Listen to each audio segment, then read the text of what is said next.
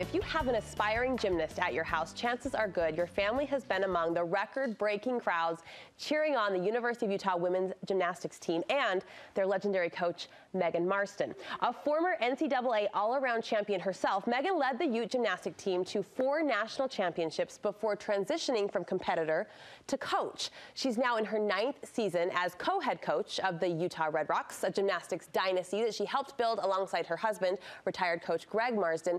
She's a woman we wanted to get to know a little bit better. So I sat down with Megan at her home. She's quick-witted, funny, and all around likable. Even in casual conversation, you pick up on her naturally competitive vibe, someone who packs a lot of passion into her five foot and one and a half inch frame.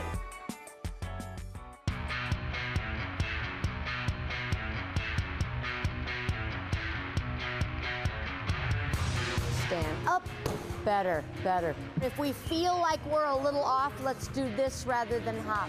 Before she became coach Megan Marsden, she was Megan McCunniff, the athlete, a 12-time first-team All-American gymnast who led Utah to four straight national championships from 1981 to 1984.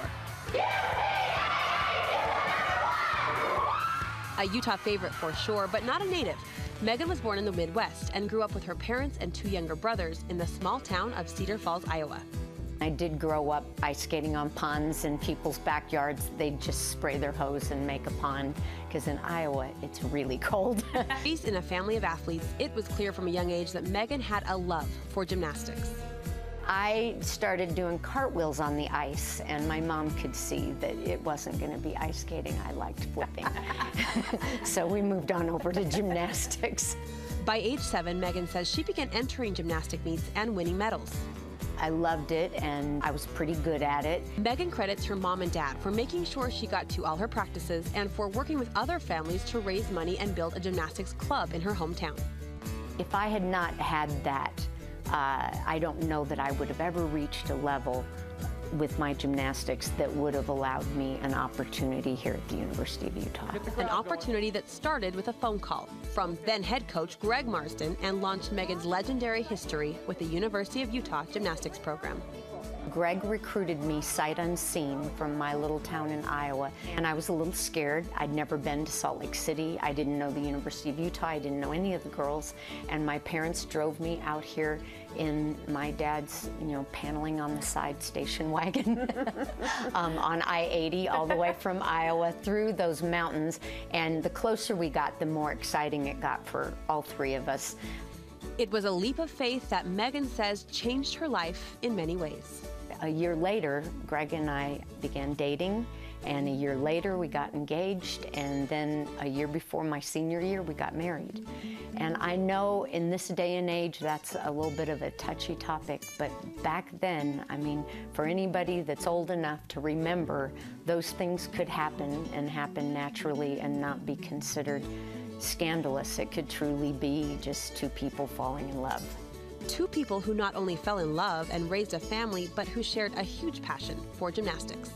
I feel fortunate. That was a time when that could happen for us because it's been incredible things ever since. When does the sun shine the brightest for you? So times with my boys, definitely, like many mothers, they're, they're the important things. Um, it becomes even more obvious to me now as they become adult and my time with them is not right underfoot. I've been so lucky to have them close by. And we um, do family dinners. okay. Family dinners on Sunday nights, and uh, I feel lucky that they um, are nearby to do that, and those those are some of my happiest times. And and dogs, um, dogs make me happy.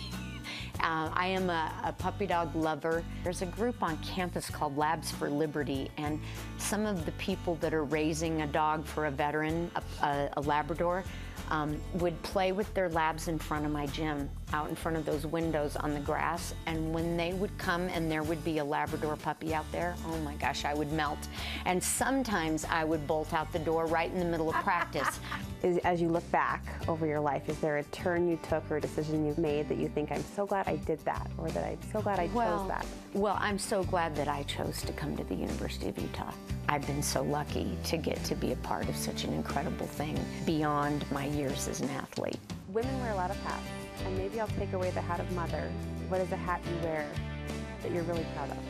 What I love about coaching is being able to teach some lessons about life through the sport of gymnastics. The flips, the twists, that all goes away. That none of that they can take with them. And that's my avenue to help these young women learn more about themselves, learn more about being incredible people and ready for the world after gymnastics.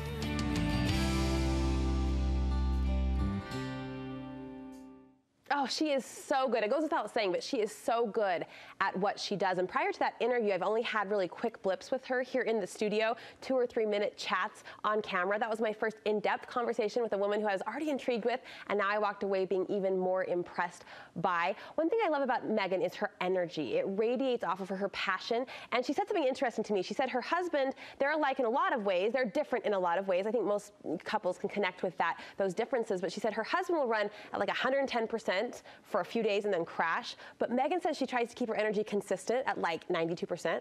And so there's never those ups and downs. Her passion, her energy is very steady. I found that really inspiring personally. Anyway, she's a great, great person. And we thank her for opening up her home and her heart and spending that time with us. Megan says the goal now, looking forward, is working together with co-head coach Tom Farden to win a national championship. And we should note the Red Rocks open their 2018 season tonight at home at the Huntsman Center against Brigham Young University.